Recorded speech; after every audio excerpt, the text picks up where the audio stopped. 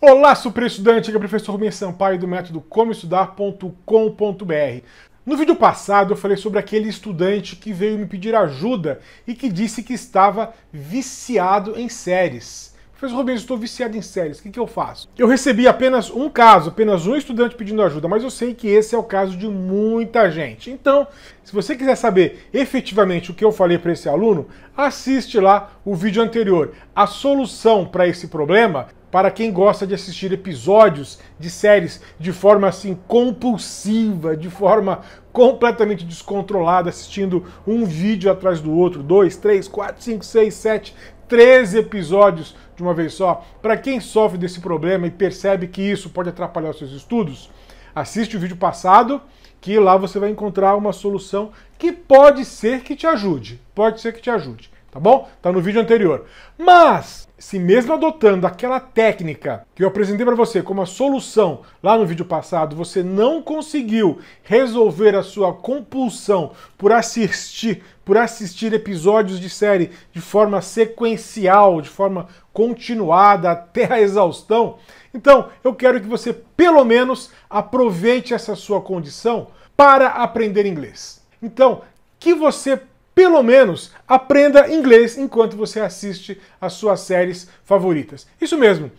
Isso aconteceu aqui em casa. Num certo momento, é, eu percebi que meu filho estava assistindo muitas séries, muitas séries. E a culpa não é dele, a culpa é minha. Aqui, o que aconteceu na minha família foi o seguinte: quando eu era muito pequeno, minha mãe me levou ao cinema. Pela primeira vez, eu assisti o Pequeno Polegar, e logo depois ela me levou para assistir A Dama e o Vagabundo. Eu era pequenininho, devia ter uns 4, 5 anos. E me lembro disso até hoje. Minha mãe sempre gostou de assistir muitos filmes, sempre me levava ao cinema. E depois de adolescente continuou me levando ao cinema. E eu passei a gostar de assistir filmes, passei a gostar de séries. Enfim, isso é um mal de família, tá bom? Isso é um mal de família. E eu percebi que meu filho estava assistindo muitas séries. E a mesma coisa aconteceu com a minha filha. Então isso é contagioso. Aí o que, que eu falei para eles? É o seguinte: você quer assistir um, dois, três episódios? Não tem problema, você pode assistir. Mas vai assistir sem legenda. Se é para se é gastar tanto tempo assistindo essas séries, você pelo menos vai aprender inglês você pelo menos vai melhorar o seu inglês assistindo essas séries. Ele já fazia uma escola de inglês, depois ele fez Kumon de inglês também. Eu obriguei meus filhos a assistirem, eu obriguei meus filhos a assistirem as séries que eles gostam de assistir sem legenda. Sem legenda. Na, na verdade, isso foi um pouco gradual. Primeiro, eu falei: olha, você assiste em inglês com a legenda em inglês.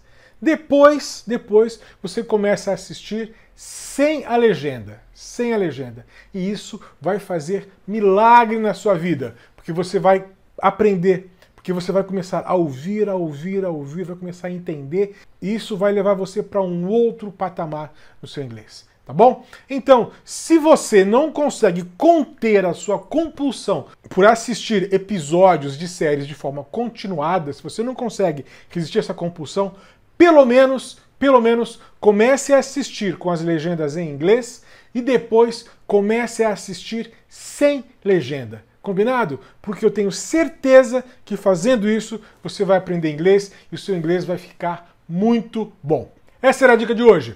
Se você gostou do vídeo, dá o seu like, clica no joinha, se inscreve no canal, aperte o sininho preto para que você possa receber as notificações dos próximos vídeos e não se esqueça de baixar o e-book Como Estudar. O e-book é gratuito, o e-book é gratuito. Eu quero alcançar um milhão de de e-books. Eu quero alcançar um milhão de cópias distribuídas gratuitamente. Então eu gostaria que você compartilhasse esse vídeo, compartilhasse o link do e-book para que outras pessoas também possam ter acesso a esse material de qualidade excelente e serem ajudadas com as dicas que eu trago aqui no meu e-book. Tá bom? Um grande abraço e até o próximo vídeo.